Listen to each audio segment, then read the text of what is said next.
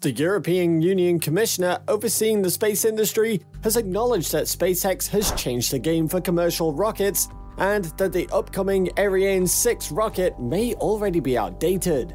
The European Commission has revealed a new three year project to develop technologies for two proposed reusable launch vehicles.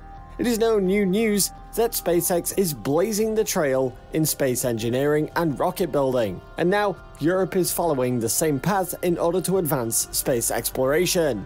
But they may still have a long way to go. In this video, we will be discovering what Europe is doing to copy Elon Musk and SpaceX. Do watch this video until the end and don't forget to like and subscribe to the channel if you haven't done so already. In the middle of 2019, the European Commission showcased a new three-year project to develop technologies needed for two proposed reusable launch vehicles. The Falcon 9 rocket's ability to land and fly again is currently dominating the global market. The European project stated that they were convinced that it is necessary to investigate retro-propulsion assisted landing technologies to make reusability state of the art in Europe. They are working on using the technologies already available to SpaceX to get back on track with rocket landing techniques. SpaceX began testing supersonic retro propulsion as far back as September 2013, when the company first flew its upgraded Falcon 9 rocket, V1.1.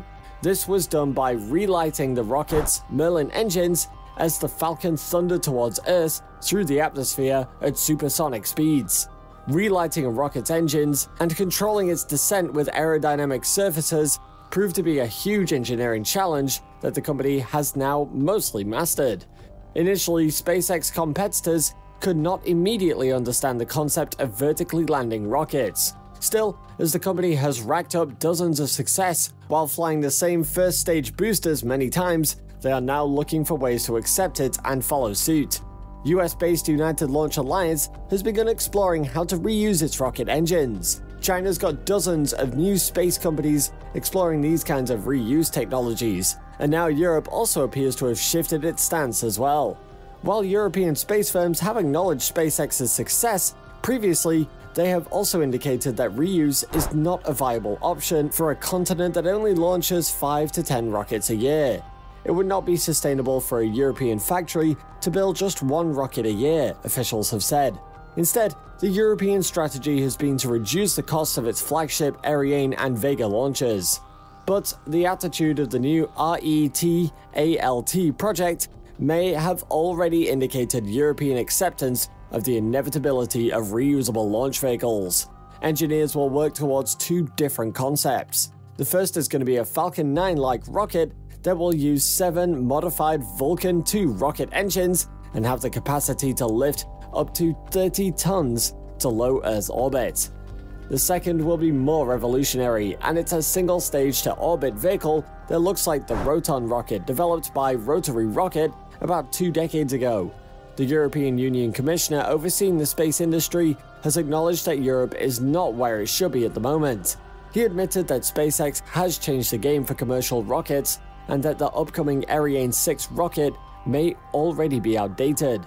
The European Commissioner Thierry Breton expressed a level of urgency, stating that SpaceX has redefined the standards for launches. Ariane 6 is a necessary step, but not the ultimate aim. We must start thinking now about Ariane 7. Ariane 6 is a new European Space Agency ESA rocket designed to replace the existing Ariane 5 workhorse by being a noticeable upgrade while building it at a lower cost. The vehicle's design and the strategy behind it were fixed in place before SpaceX began to routinely demonstrate Falcon 9 reusability, effectively creating a rocket optimized for a market that ceased to exist soon after. Based on the economically infeasible design decision to build a hybrid first stage with a liquid core and add on solid rocket boosters, SRBs, as well as the structurally inefficient use of hydrogen and liquid oxygen fuel for the booster, Ariane 6 is designed to compete with the likes of the United Launch Alliance's ULA, Delta IV, and Atlas V, as well as upcoming Vulcan rockets. Despite several years of half-hearted, half-baked attempts to try making parts of Ariane 6 reusable, the rocket will be 100% expendable after its first launches. From a commercially competitive perspective, Ariane 6 may not be very viable. but it is still an impressive rocket. It features two variants, and the only significant difference is the inclusion of either two or four SRBs. A62 is expected to cost roughly $82 million, and it will be able to launch up to 5,000 kilograms, 11,000 pounds, to the Geostationary Transfer Orbit, GTO, commonly used by the communication satellites that are Ariane 5's bread and butter. Doubling down on solid rocket boosters, A64 will cost at least $135 million apiece and can launch up to 11.5 metric tons, around 25,400 pounds, to GTO and 5 metric tons to a circular geostationary orbit, GEO. Compared to SpaceX's reusable Falcon 9 and Falcon Heavy offerings, Ariane 6 is in a rather awkward situation. The base price for a commercial orbital launch of a flight-proven Falcon 9 booster may already be as low as $50 million. Even in a recoverable configuration, Falcon 9 easily beats Ariane 62's performance and is able to launch more than 16 metric tons to low Earth orbit. A62 can do 10.3 tons and 5.5 tons, whereas A62 can do 5 tons to geostationary transfer orbit, GTO, all while costing almost 40% less. Technically, Ariane 64 is a little bit more viable from a performance perspective, but Falcon Heavy can offer almost identical performance to higher orbits and vastly superior performance to lower orbits while still permitting recovery of all three boosters. Cost-wise, Falcon Heavy either meets or beats A64, with existing contracts ranging from 115 to 130 million dollars for extraordinarily high value NASA and US military payloads. According to SpaceX, the rocket's base price could be as low as $90 million. Once SpaceX has three operational drone ships on the East Coast, Falcon Heavy can send up to 10 metric tons to GTO while still allowing all three boosters to land at sea. If one of these three boosters is expended, that performance leaps to 16 tons, 40% more than A64. If there are no improvements between now and Ariane 6's first several launches in 2021 and 2022, SpaceX's existing Falcon 9 and Heavy rockets are already clear of Europe's newest entrant at almost every turn. This is why a senior ESA commissioner is already publicly implying that Ariane 6 is outdated before its first launch.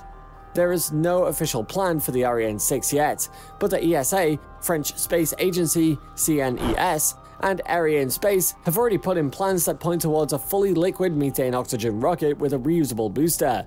In theory, a rocket like Themis could launch Europe back into the competitive global launch industry. Still, ESA's history of launch vehicle development suggests that such a radical departure from Ariane 5 and Ariane 6, around $4 billion on its own, would require a huge uptick in funding and around 5 to 10 years of development. With pragmatic supporters like Breton, there is some glimmer of hope, but the future doesn't seem so bright. In line with these efforts to get back on track, the European Space Agency has awarded German launch startups HyImpulse Technologies, Rocket Factory Augsburg, and ISAR Aerospace a combined 1.5 million euros, $1.7 million, for the development of competing micro launchers. The three support contracts were announced in 2020 and they're worth 500,000 euros each, and are the first awarded under Boost, an ESA program designed to introduce new commercial space transportation services. HyImpulse is developing the three-stage SL-1 launch vehicle, designed to carry payloads of up to 500 kilograms to low Earth orbit. The vehicle is expected to make its launch debut in 2022. Rocket Factory Augsburg, the launching arm of German space technologies company OHB SE, on the other hand, is developing its three-stage RFA-1 launch vehicle, designed to carry 1300 kilograms to a 300 kilometer polar orbit. The vehicle is stated for a late 2021 maiden launch from Norway's Andøya spaceport.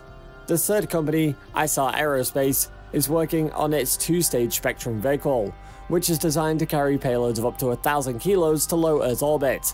The maiden flight of the Spectrum vehicle is currently set at 2021. There we have it. These are just some of the plans Europe has put in place to compete in space exploration on a global scale. What do you think about these projects? Is it possible for Europe to easily compete with SpaceX at this rate? Let us know what you think in the comments below, and thank you for watching this video. While you're still here, go ahead and click on one of these two videos on your screen right now for more awesome content waiting for you. See you there.